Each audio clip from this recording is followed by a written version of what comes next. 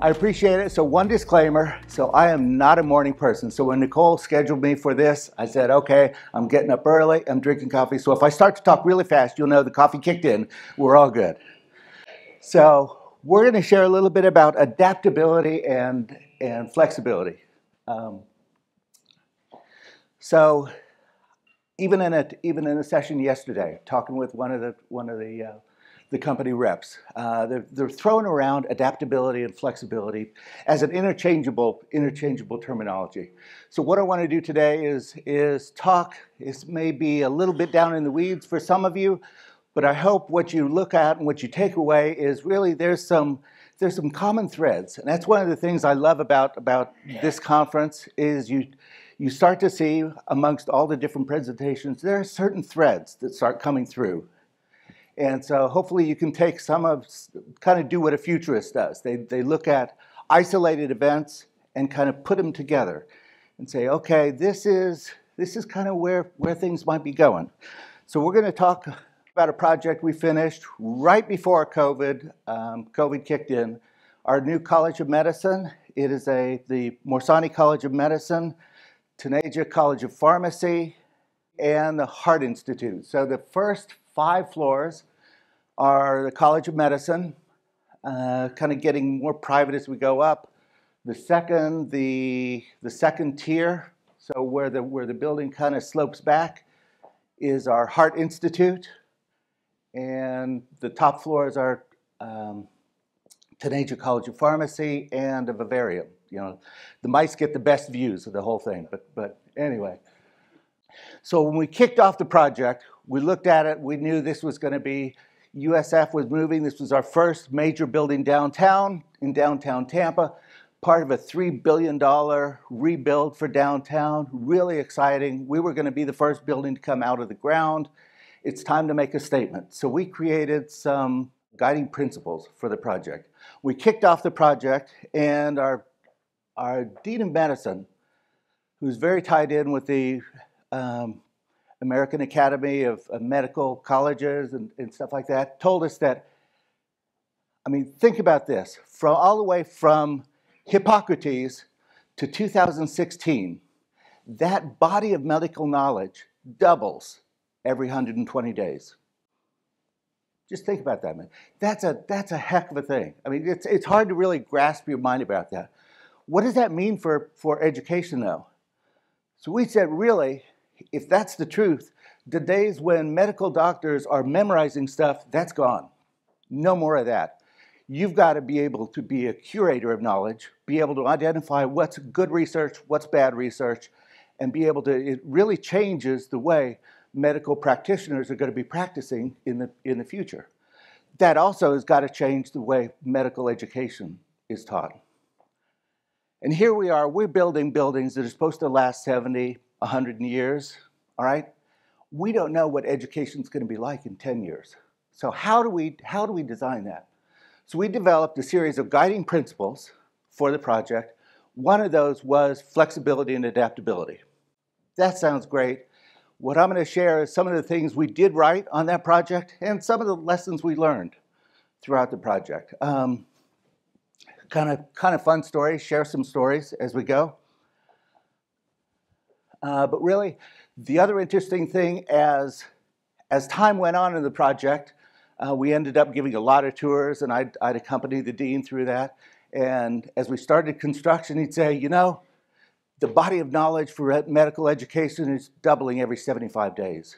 I'm like, whoa. By the time we ended the project in 2020, medical education or medical knowledge was doubling every 23 days. Now I don't know, it's two years later, I don't know what it is, but it's just, I mean, that is mind boggling. But that is, that's the world that we're doing today, the world that we're living in today. So we looked at, all right, I actually looked up the definition of flexibility and adaptability. So flexibility is the willingness to change without compromise, the ability to be easily adapted, modified. Okay? The quality of bending without breaking. To me, I mean, I'm a baby boomer, just on the cusp of, of a baby boomer, but to me, that's Gumby. That's Gumby. I love Gumby. I mean, I, I talk to our team about putting on your Gumby suit and being flexible all the time. Okay, that's Gumby. My other favorite toy as a kid was Legos. Legos are great, but they're not real flexible. If you've ever stepped on a Lego as you're, as you're walking around, not flexible at all. Okay, they hurt. But you can make them into almost anything you possibly want. And that is the cool thing about Lego. So adaptability is the quality of being able to adjust to new conditions. Subtle difference, but huge differences. The capacity to be modified to a new use or a new purpose. And that's the difference between flexibility and adaptability. And as we start moving forward, we've got to understand those differences because they have huge implications for the building. Now, a long time ago, it was, it was kind of fun to listen to Kim Lear because a long time ago, I learned there's a difference between generations in the way they talk. So I've got a, I've got a daughter that's going through school, you know, she doesn't know Gumby, but she knows slime. Slime is always going to be slime to her. It's always going to be green. It can change shape, but it's always going to be slime. Transformers, again, her generation, they can be a vehicle, they can be a monster, okay? They can, they can adapt. So you've got to, as you, as you communicate, understand who your audience is, what your, what your audience is. So we, we started programming the, build, programming the building, and we looked at it and said, okay, medical colleges are the first two years you're basically in class. The next session you are you're doing clinicals, you're outside the building. So we looked at it and said, okay, we've got every class of medicine is 184 students. Add on that our physician assistant program, you've got basically 200 students in class. When you put those two classes together, you've got 400 students. So we need a place that we can gather 400 students together. We also need some classrooms. We can break that up. We need some 100 person classrooms. And then we need to break it up even more into 25 person classrooms. They also wanted to change some of the, some of the mentality because, um, and I, I won't get into this real deeply, but, the, but medical students, a lot of students, spend a lot of their time, very intense, um, actually studying in the building. So we created some of the learning communities. Basically, it's a, it's a, a Hogwarts where they put the different years together uh, but it's a, it's a home away from home. They broke each class into a, a group of Hogwarts houses, and each group has a learning community. They can go, it's got a microwave, it's got a Keurig, it's got a coffee maker, it's got a refrigerator, it's got lounges, it's got a place that they can sit there and, and play gaming, all that kind of stuff. Really is a cool place, but it's a place where they can get away, de stress. But that's not really, when we look at this programmatic scheme, that's not really flexible. So we said, okay, let's break up the 400 person classroom. We need to have two 200 person classrooms. All right, we think we can do that. Break the 100 person classrooms into 250s. Break the 25 into groups of 12, small groups. What that does and what that really means is we can put the whole class in a 12 person classroom a 25 person classroom, a 50 person classroom, a 100 person classroom, a 200 person classroom, or a 400 person classroom, all at the same time. That may seem like a duplication of space, but really what it does, it allows, it allows you to take, um, it allows you, and I'll look at the, the big diagram, it allows you to do a lecture and break up, kind of like what they're doing here, break up the lectures in 20 minute groups. Okay? because adult learners can only focus for about 20 minutes at a time. So you do a lecture on the history of the, the stethoscope. How does that work? Why was it created? You go into a 100 person or a, a 50 person classroom and you learn, okay, the, the cardiologists, okay, this is how you use a stethoscope. The internist, this is how you use a stethoscope and, and all those different kind of scenarios. Then you go into our ultimate, and I'll talk about this, our experiential learning lab. It's a hands-on, flexible, ultimately flexible learning lab. So you go in, you go from the, the theory into this is how you actually use it, go into the small group learning room, get a little critique, say, okay, you know, Mr. Cardiology, okay, you, you put the, the, uh, the stethoscope here, try it actually here. Go back in, try it out, and they can bounce back between pedagogies in a short period of time and really take the hands-on, take the theory, take the, the interaction, and change the way education is delivered from being in a classroom for 60 minutes at a time to 15 to 20 minute chunks. Very easily, very quickly, very flexibly. So we created these small group rooms. Again, these are 12 to 20, 24 person classrooms. Okay, we've got a, got a partition right down in the middle. You can see it in the middle picture. You can divide that partition. We also looked at um, all of the furniture in this building. Everything's on wheels. All the chairs are on wheels, all the tables are on wheels. Everything can be moved around, configured, everything's modular. Um, everything, everything kind of fits together. The students can move it around. You know, they come in in the evening, study. Things are, things are totally moved around. The other thing we learned, and one of the interesting things is um, as, you're, as you're going through the process, you're going to have unintended consequences. So we went, we actually took a trip up to Steelcase and looked at um, people actually learn and people actually socialize differently. So we wanted to provide a, a, a bunch of casual learning spaces, kind of like in the, bottom right. We implemented this, we put the furniture in, we started giving tours around it for the faculty, and they said, you know, this is pretty cool because there are things that we actually teach that this would be a better teaching scenario than a 100 person classroom. So it puts that, it puts the power back in the, the, uh, in the hands of the, the, uh, the teachers to say, okay, this is the subject I've got to teach. How is the best environment? What is the best environment to teach that subject in? And then have the space reinforce the topic as opposed to trying fitting everything in.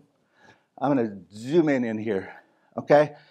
So as a result, there are things like um, how to recognize a student or a, how to recognize a victim of human trafficking.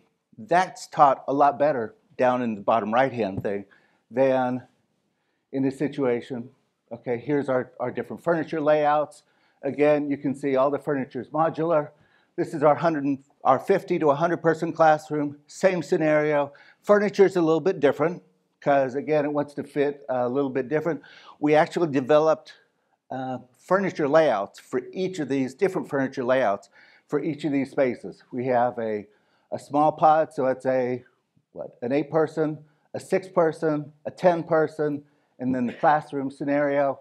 How do these actually lay out? Because our fire marshal said, all right, how are you going to make sure that everybody can get out, regardless of how these are going to be, going to be laid out? So we laid out the different scenarios. We even had one where it was kind of a, a study group. Okay, here's our experiential learning lab. It's basically a black box theater for teaching. So the, the white grid you see, we've actually got these movable partitions that slide around on that grid they can be created into like exam rooms in an ER space. It can be one big giant space. During COVID, they actually set it up for a testing space for a uh, for the medical uh, the medical examining. So you can see the I call them dummies, but they're not dummies; they're mannequins. So, uh, so the students use the mannequins, all very, very high tech, but it's it's hands-on type stuff. They don't use cadavers for for anatomy. They use uh, they use the big screens for anatomy these days. Okay, study spaces. We've actually got 16 different types of study spaces, group study spaces, casual study spaces, um, different study spaces, spaces where you're in the middle of everything, uh, spaces where you're on the fringe. And then we get into the auditorium. So when you think of auditorium for a medical school, you think of a, a, a room like this tiered seating, okay, grand rounds. and and that's what you think of. Well, our guiding principle said we want to be flexible. A scenario like this is there is one setup for that room. So we said, okay, what if we did a flat floor? What would that mean? Well, that's great, but our auditorium's on the second floor. You know, you go to a hotel and most of the auditoriums, you know, big span spaces, they're off to the side. We've got a high rise building, we've got 12 floors on top of this. So we actually looked at what does it mean? What are the real benefits of being able to do a, a flat floor? We can have banquets, we can do seminars, we can do layouts, we can do teaching in the round. All right? Flexibility, adaptability, flat floor, that makes sense. So what did that mean? We've got to have a double height space. We've got to have clear columns because they didn't want a column in the middle of their, their space. Um, and this is our auditorium on the right. Okay, we've got, you can see down in the middle, we've got a skyfold partition that comes down, divides it into 400 people, 200 people. Means we had to have some huge transfer beams. We had four beams that were literally six foot wide, 12 foot deep, solid concrete, spanning 84, 84 feet. They were pretty massive. They were a lot of fun to, to, to explain, but um, kind of drove our design team crazy. But it was worth making the investment in these huge beams to get the result that we really wanted. Okay, we had to think about lighting, sound, AV, acoustics. We put in a raised floor because we knew uh, moving things around underground didn't make sense with a, with a high ceiling. We actually went with the new technology. We put in in-floor Wi-Fi. Instead of having the Wi-Fi up in the ceiling, it's actually underneath the, the flooring system. It was kind of fun. It was the first time it was deployed in the world on a, on a large scale.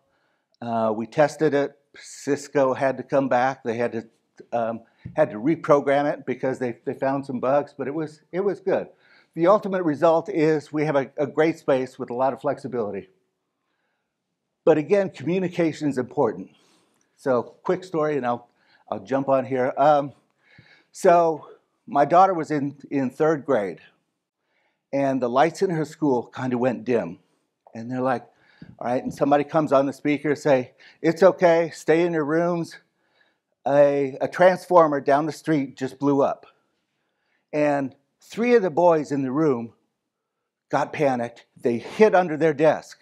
I mean, what to a third grader, what is a transformer? A transformer is a thing on the right. All right, you've got you've got a, a, a catastrophe coming down the street. He's going to attack us. All right, to you and me, that's a transformer on the left.